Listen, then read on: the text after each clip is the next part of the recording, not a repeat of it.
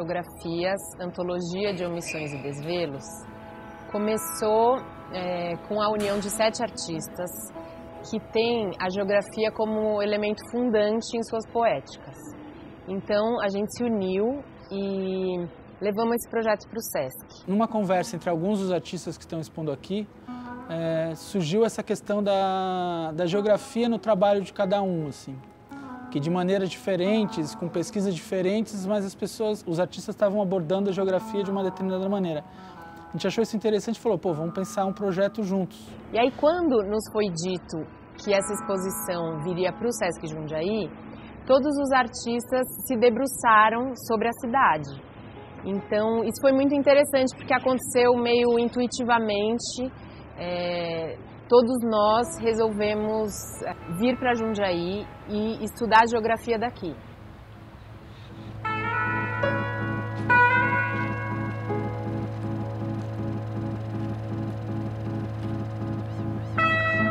É, numa primeira conversa que a gente teve aqui no SESC, viemos os sete artistas para conhecer um pouco desse entorno e de, e de qual as possibilidades por onde o trabalho poderia se desenvolver.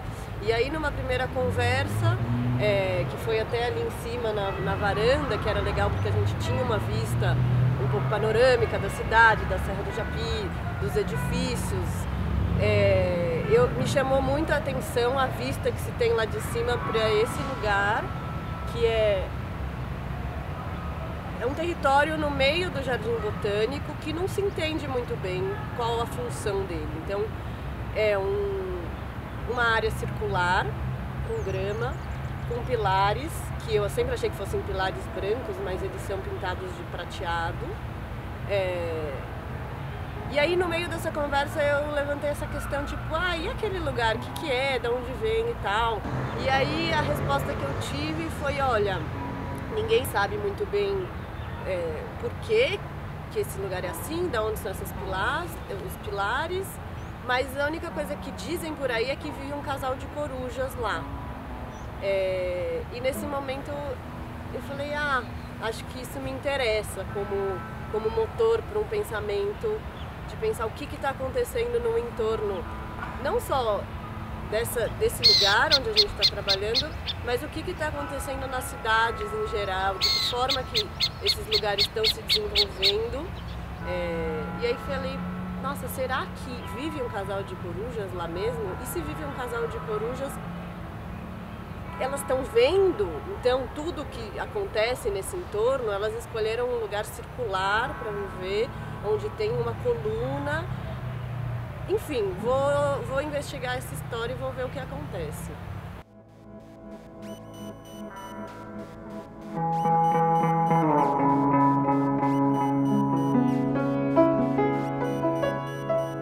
Eu trabalho uh, por séries normalmente e por uh, coisas que motivam o meu trabalho. Uma das, uma das séries que eu tenho é sobre o Rio, exatamente. E aqui uh, em Jundiaí, um, o SESC fica mesmo, tem em frente este uh, rio incrível que é o Rio Jundiaí, que ainda por cima deu o nome à cidade. Eu achei que fazia todo o sentido, por, por um lado, pela proximidade do lugar onde ia expor, por outro lado, esta uh, semelhança do rio, da, do nome eh, do rio e depois toda a história do rio que me interessou, eh, porque eh, todos os problemas ecológicos é uma das vertentes que eu tento trabalhar muito no meu dentro da, do trabalho que eu faço.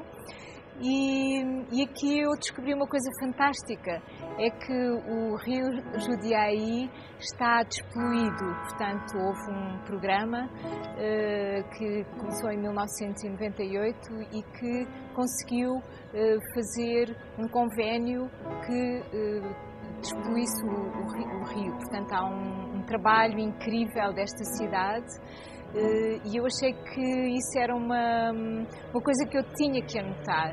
E faz parte integrante do meu trabalho, além do rio, de todo o percurso do rio, desde, desde a nascente, que é numa montanha com um nome lindo, que é a Montanha da Pedra Vermelha, até à Foz, que é no Tieté, uh, e todo esse percurso eu desenhei, mas depois escrevi na parte de trás do desenho uh, dados da, desta história do rio e um pouco da cidade e palavras que eu acho que são importantes. Para além desse desenho, que é um desenho bastante longo, com 10 metros de comprido e com duas faces, eh, tenho. Ai, que vai estar dentro de uma caixa, portanto, a caixa é quase como um relicário onde se pode guardar eh, este desenho que pode funcionar quase como um livro. Depois tenho outra peça eh, que são as pe que eu, como venho de Portugal, Uh, quis trazer um bocadinho de Portugal e fazer quase que uma assemblagem entre dois rios e trouxe pedras da margem do rio Tejo, que é o, rio da cidade onde eu vivo. Portanto, fui à sua margem, apanhei, colhi algumas pedras e quando cheguei aqui fui apanhar também pedras do rio Jundiaí não consegui chegar bem, bem, bem à margem, mas muito perto. E esse trabalho vai ser feito com a junção da, das pedras de, das margens dos dois rios, onde eu vou escrever uh, ser, uh, ser rio é ser vida e ser vida é ser transformação. Eu esqueci-me de dizer no, que o desenho, para além do rio e das palavras e do mapeamento do lugar, uh, para além disso, eu andei com, com o próprio desenho pela cidade de Jundiaí, pelo SESC, portanto, por toda esta região, e a base do desenho é a frotagem do chão da cidade e, e, e daqui também do SESC. Uh, a frotagem é um decalque que eu faço com uma grafite, que é um material relativamente uh, rijo, e que normalmente faz os lápis com que as crianças escrevem e que eu decalco o próprio chão da cidade e portanto o, chão fica impresso na, no papel e é uma memória dessa cidade eh, para além do rio está também a memória da cidade.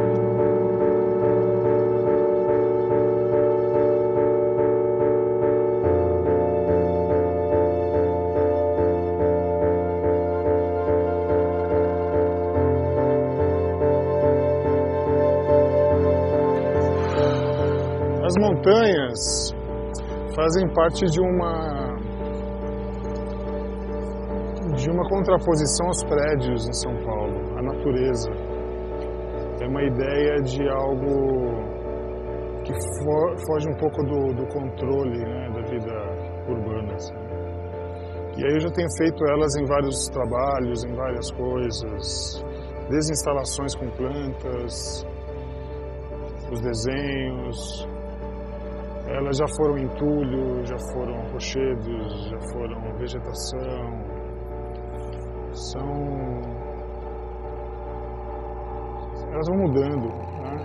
É... Também tem a coisa assim, de São Paulo até Jundiaí, pela estrada, eu vou acompanhando a geografia e as mudanças na paisagem, né? Então tem um pouco dessa colagem de coisas que, que são várias paisagens que eu passo rapidamente de carro e aí eu fixo um detalhe, outro detalhe, aí já passou, aí já fixo outro. E então é uma paisagem mental, assim, de referências, de lugares que eu, que eu vou, que eu passo, que eu vejo na internet, que eu vejo em filmes. Uma vez eu estava desenhando montanhas, estava, na verdade eu estava nos canyons de Itaim Bezinho com uma galera desenhando e tal. E veio um, vento muito forte. De tal maneira que as folhas do meu caderno ficavam indo e vindo. Eu estava com uma caneta e eu só ficava tentando desenhar a paisagem, mas as folhas iam, voltavam, desenhava três folhas ao mesmo tempo. Era uma perda de controle completo, assim. E eu adorei o resultado, assim, os desenhos, o traço, ficou do jeito que eu queria. Assim, que eu queria não, me revelou um jeito que eu não sabia, mas eu queria. E aí, quando eu comecei a fazer esses desenhos, é... eu queria ter o descontrole, a falta de controle de novo, né? Hum, Então, pegar o extensor, 5 metros de distância, é, numa escada que você nem enxerga o que você está fazendo direito, você vai seguindo um outro feeling, outra. Você usa o corpo para desenhar, né? E aí começa, começa a tentar é, administrar essa falta de controle. Acho que aí fica interessante. É, uma coisa que eu gosto é pichação. Pichação é uma outra abordagem, mas que afeta bem o espaço. E eu gosto disso. Eu acho que tem prédios que ficam lindos, totalmente sujos e cobertos de pichações e tal. É, a maneira como eu tento desenhar tem a ver com essa atitude da, dos pichadores. Né? Também, assim, eu tento fazer bastante sujeira e, e acabar com alguns muros brancos e tal. Mas a ideia é, é interagir com o espaço, afetar o espaço. Não seria é, fazer um desenho bonito no, numa parede para mim eu não gosto muito de muralismo mexicano, essas coisas assim. Pra mim, eu vejo num papel, num livro, na internet, já tá bom. Eu posso fazer desenhos bonitinhos, elaborados com moldura e convencionais, e brincar com a ideia de museologia coisas assim, como tem na outra parte da exposição. E pode ter coisas que estão se relacionando com a cidade, né? as pessoas. Eu, tem uma relação mais até de corpo, assim, né? De você ter uma presença de algo, né?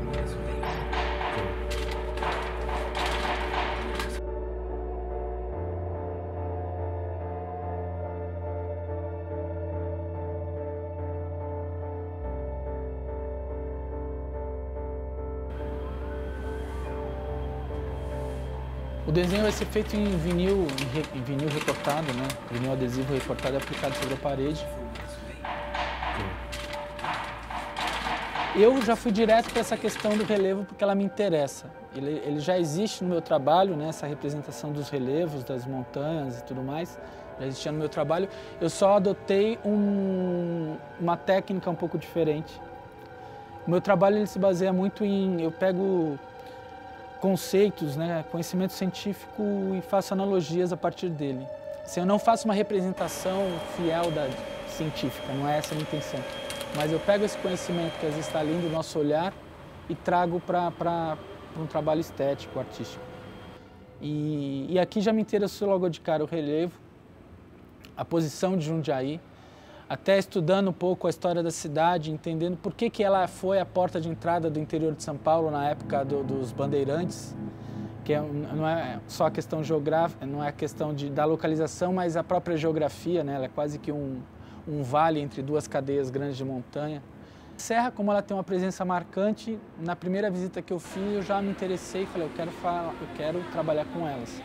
Primeiro porque a gente está trabalhando com o tema e usando como referência é, o lugar onde essas pessoas vivem, né? que nós não vivemos. A gente vem convivendo com esse espaço há pouquíssimo tempo, comparando a pessoas que muitas delas nasceram lá, sempre estiveram lá.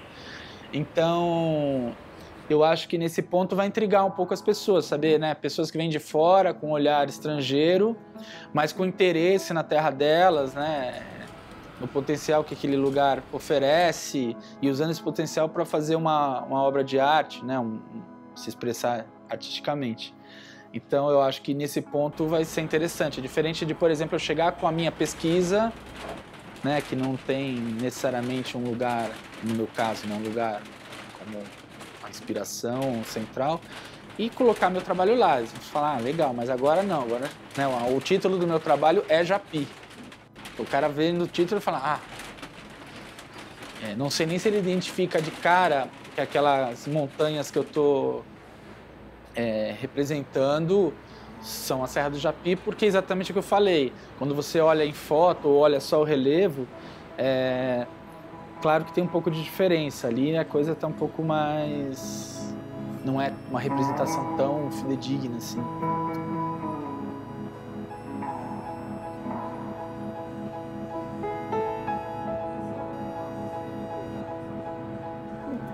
Aí foi feito uma. Eu fui pesquisando, então, na verdade, o que, que eu resolvi? Como eu, eu tenho feito um outro. Fiz um outro. um trabalho anterior para outra ocasião em colocar umas paisagens dentro de umas caixas pequenas de madeira, de compensado de madeira, tipo a paisagem tá lá dentro, é, guardadinha ali, sabe? E pequena. Então eu comecei a imaginar as coisas da cidade e do histórico da cidade e fazer ou umas pinturas ou colagens dentro dessas caixinhas que são de é, pedacinhos de compensado e madeira compensada.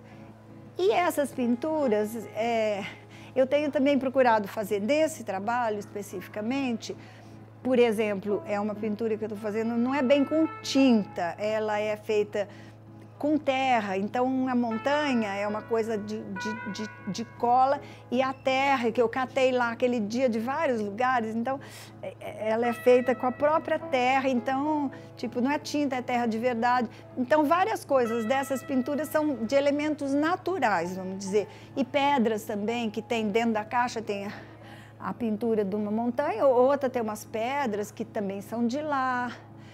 Então eu fui catando elementos também nessa, nesse passeio por lá, que, que esses elementos eu fui colocando nas caixinhas. Elas têm um volume, algumas têm uns 15 centímetros, outras têm tipo 7, uns voluminhos. Algumas têm o vidro na frente, então tipo a coisa que está lá dentro está muito protegida pelo vidro, você entendeu? Então são várias situações de caixas e outras são só uma pintura aqui sobre a placa que vai direto assim na parede. Então vai ter um jogo de volumes bem assim diversificado, vamos dizer.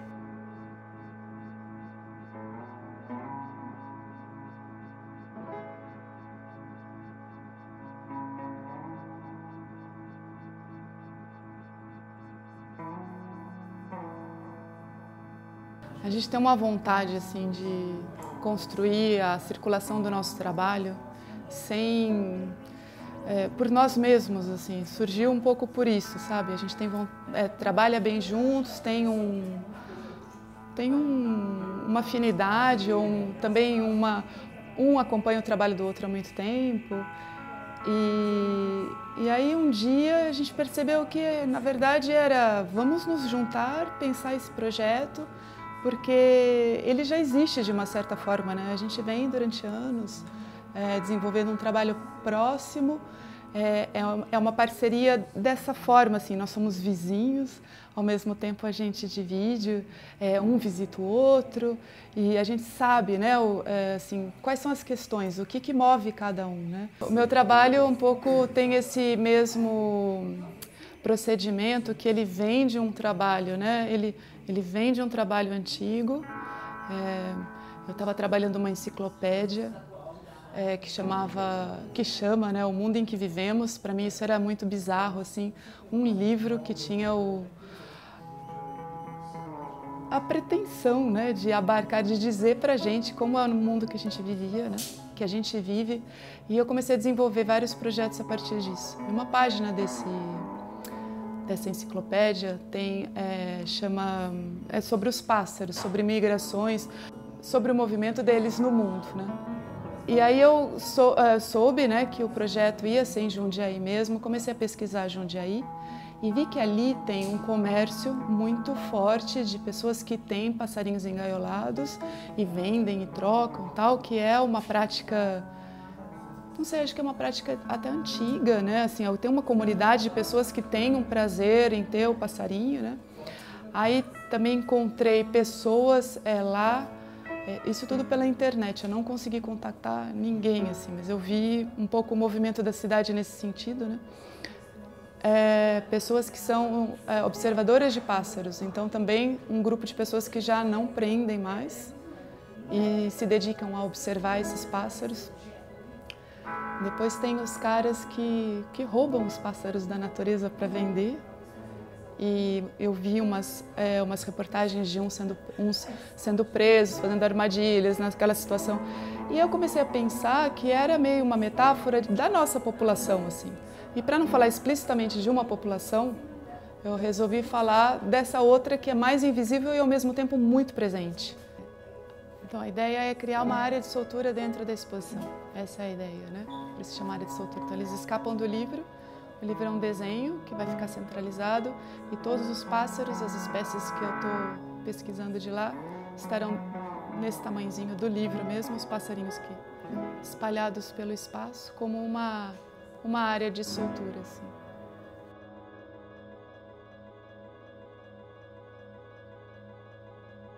O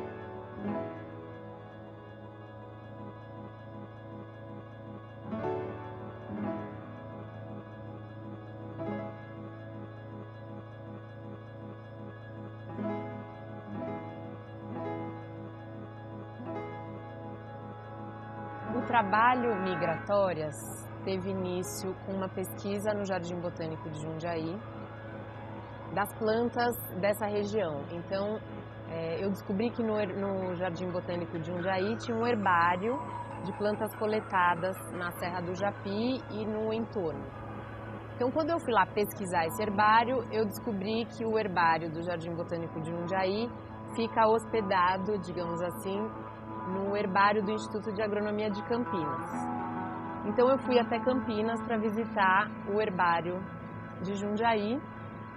Então fiquei muito interessada por esse deslocamento desse arquivo, né? Um arquivo que é muito próprio de um lugar, que está falando das plantas desse lugar, mas que você tem que ir para uma outra cidade para pesquisá-lo.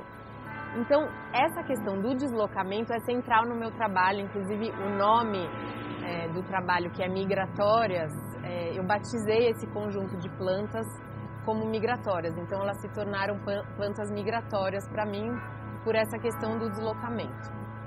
Então, é, eu fiz, eu fui até o Instituto de Agronomia de Campinas para pesquisar o herbário entender melhor como é feito um herbário. E nesse processo, é, eu soube que eles, as plantas são colocadas em páginas do Diário Oficial.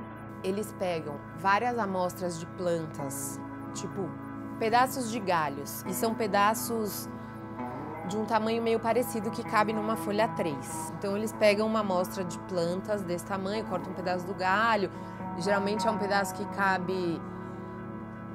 É, eles recortam um pedaço que tem mais, o máximo de elementos possível de uma planta. Então, se tem semente, se tem flor, vira uma, uma folha de um lado, outra do outro, para ver as, os dois lados.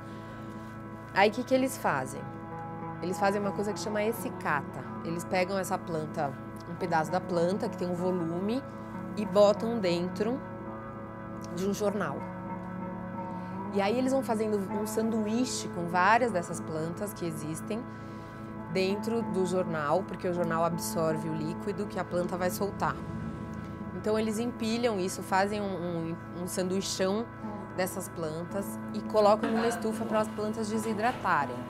Então a essicata, que é o que vai virar o herbário, ela é uma planta planificada e seca.